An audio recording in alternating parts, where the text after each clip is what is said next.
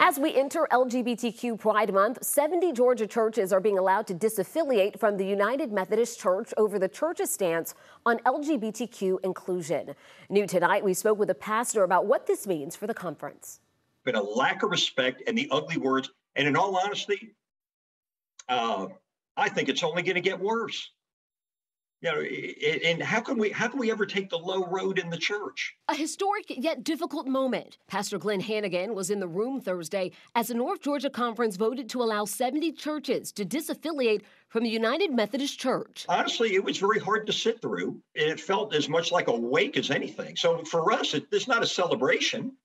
You know hooray we're free. It's it's more like we're just sorry that this had to happen. Hannigan has been the pastor at Ebenezer Methodist Church in Roswell since 2010. In 2019, the General Conference voted to alter its stance on homosexuality to be more welcoming. We have uh, LGBTQ members of our church. Uh, I can't tell you the feeling it was when we voted unanimously. North Georgia Conference officials say churches requesting disaffiliation make up about 9% of churches in the conference and represent about 3% of the membership of the United Methodist Conference as a whole.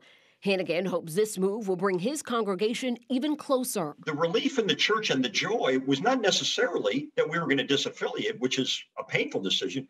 The joy was we were together and that and that we haven't lost anybody. And as far as I'm concerned, we're not going to. In a statement, the conference writes that while it doesn't want any church to disaffiliate, it is committed to a clear and healthy process and that it is painful when there's a division in the church. It's sort of a knee jerk reaction is that we're doing this, is that we're, you know, either trying to keep people out we're doing the opposite. We want to create a place where people are welcome and they feel loved. The disaffiliation agreement allows churches to leave the denomination through the end of 2023.